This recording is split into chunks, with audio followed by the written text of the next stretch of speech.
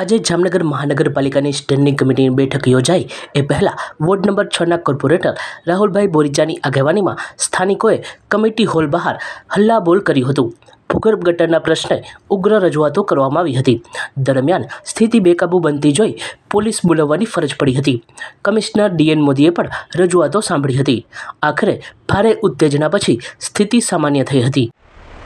આજે શ્રી હરિકોટાના અનિલ ધવન સ્પેસ સેન્ટરથી ચંદ્રયાન થ્રી સફળતાપૂર્વક લોન્ચ કરવામાં આવતા ભારતને અવકાશ ક્ષેત્રે વધુ એક સિદ્ધિ મળી છે.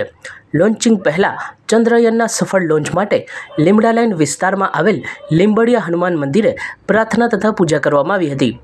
સામાજિક કાર્યકર નિલેશભાઈ સિમરિયા દ્વારા વિધિવત રીતે ભગવાન હનુમાનજીનું પૂજન અર્ચન કરવામાં આવ્યું હતું. જામનગરમાં ખાણ ખનિજ વિભાગ દ્વારા ખનિજ ચોરી પકડવા માટે હવે ટેકનોલોજીનો ઉપયોગ કરવામાં આવી રહ્યો છે.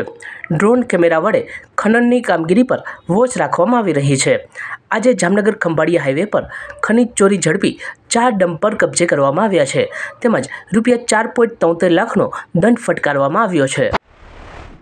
જામનગર જિલ્લા પોલીસ વડાની કચેરી સહિત જિલ્લાના તમામ પોલીસ મથકો તથા સંલગ્ન કચેરીઓ આસપાસના સો મીટરના વિસ્તારમાં આંદોલન, ઉપવાસ કે ધરણા કરવા પર પ્રતિબંધ મૂકવામાં આવ્યો છે. અધિક જિલ્લા મેજિસ્ટ્રેટ બી એન ખેર દ્વારા જાહેરનામું બહાર પાડી અગિયાર સપ્ટેમ્બર સુધી પ્રતિબંધ અમલમાં મૂકવામાં આવ્યો છે. ઉલ્લેખનીય છે કે તાજેતરમાં જ કલેક્ટર કચેરી સેવા સદન આસપાસ પણ આંદોલન કે વિરોધ પ્રદર્શન કરવા ઉપર પ્રતિબંધ લગાડવામાં આવ્યો હતો. જે અંગે જાહેરનામું પણ બહાર પાડવામાં આવ્યું હતું.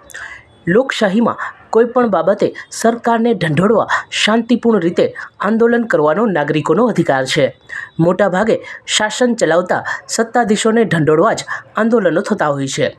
ત્યારે કલેક્ટર કચેરી અને પોલીસ મથકો આસપાસ આંદોલનો પર પ્રતિબંધ એ લોકશાહી વિચારધારા વિરુદ્ધ કહી શકાય. પોલીસ સંબંધિત કોઈ બાબતમાં લોકો ક્યાં આંદોલન કરે? કલેક્ટર કચેરીએ આંદોલન ન કરે તો ક્યાં કરે? આ સમગ્ર વિષય ચિંતન કરવા જેવો છે. અગત્યના સચોટ તમામ સમાચારો સૌથી ઝડપી મેળવવા માટે અત્યારે જ અમારી ચેનલને સબસ્ક્રાઇબ કરો.